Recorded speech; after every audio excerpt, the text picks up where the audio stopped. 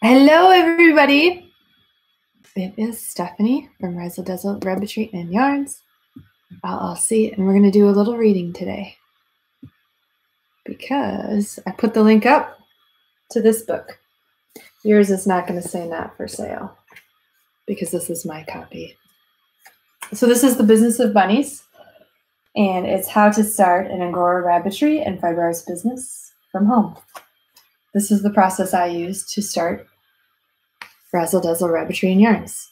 And one of the things I wanted to do is actually write a book and write it down so that whoever else wants to do this can also do this as well.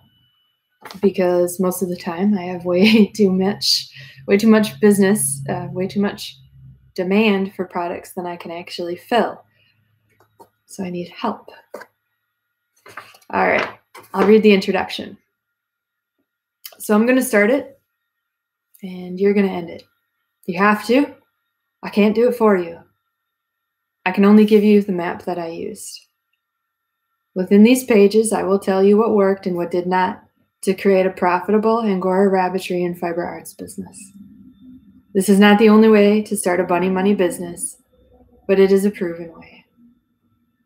When I started my Angora rabbitry and fiber arts business, there were very few resources specific to what I wanted to do.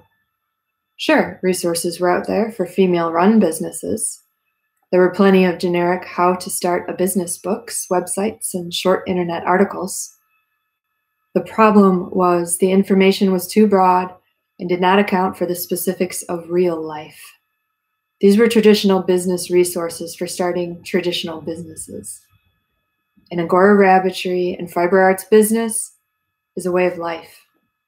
It is for certain people who have a particular dream.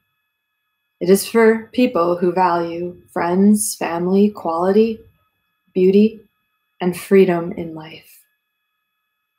It is not a common brick or mortar brick and mortar store, and it is not for those seeking millions of dollars in profit. The skills of animal husbandry, spinning yarn, knitting, and crochet are traditional skills. The business model had to be anything but traditional. Startup expenses had to be low. Methods for making money needed to begin right at the start. There also had to be room for different types of Angora rabbit and fiber arts products. This plan allows for flexibility of the physical products. Just because I had certain physical products does not mean those are the only physical products you must have. This is a guide. This is an outline. With all outlines, you must do the work to fill it in. How you fill it in is flexible, as it must be, to fit your individual preferences and market. This is not the only way to make bunny money.